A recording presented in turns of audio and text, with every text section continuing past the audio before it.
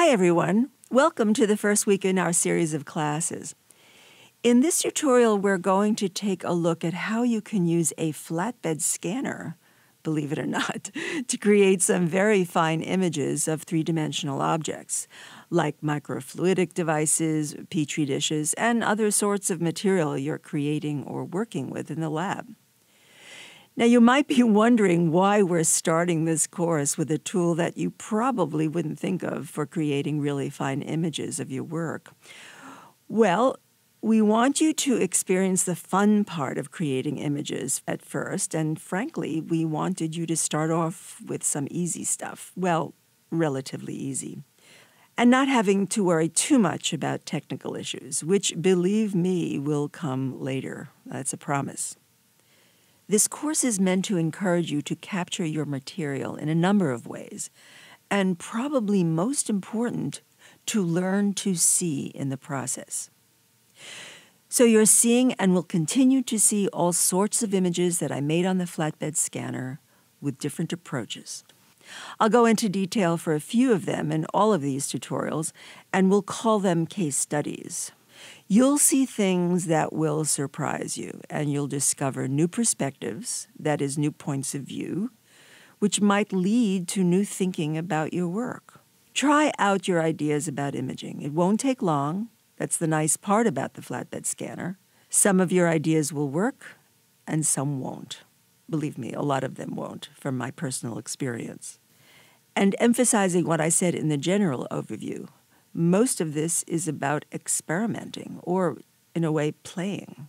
The process, I hope, will become an act of discovery, as it did for me when I made these images. You should think of this process in a similar way as you do with your own investigations. So, using this scanner can, if you choose, come close to imaging with a microscope, if you make sure you capture your image at a high enough resolution. You can start zooming into your image on your screen and see things that you could not see with your eyes. And I'll, I'll show you that a little more later on. One thing, I wanted to let you know that I digitally cleaned some of these images so that your eye wouldn't be distracted with dust particles. That's important for you to know.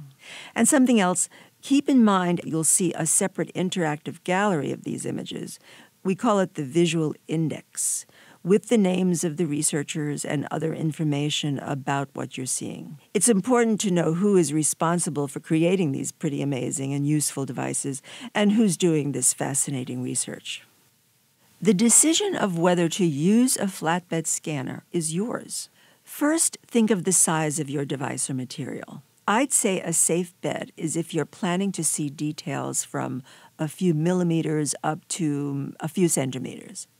But as you'll see in a few moments, you'll be able to capture detail in the 30 to 50 micron range. What you'll see and show in your image will depend on how you set the resolution in the scanner setting. For the time being, just think about it this way. The higher your DPI setting, that is dots per inch, the more information you're sending to the sensor. The more information you're sending, the more detail you'll be seeing and capturing.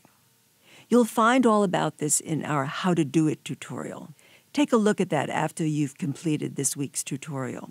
You'll see how changing the DPI settings, as we are seeing here in these three images, will have a direct effect on capturing details. Why use it instead of a camera? Well, first of all, you can very quickly make some very fine images without going to a more complicated setup with your camera, as you'll see later in the next few weeks.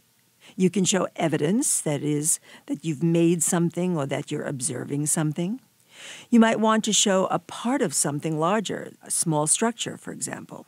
You'll be able to share some observations quickly with your colleagues.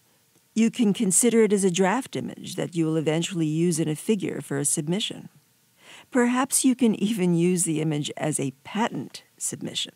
That's something to think about. The wonderful surprise here is that you can put a three dimensional object on the scanner and create images that suggest their three dimensionality. Yes, you will lose depth of field, which we'll discuss in the next tutorial about cameras and lenses, but still eventually you'll create sometimes a knock your socks off image. Hopefully you're interested in that sort of thing.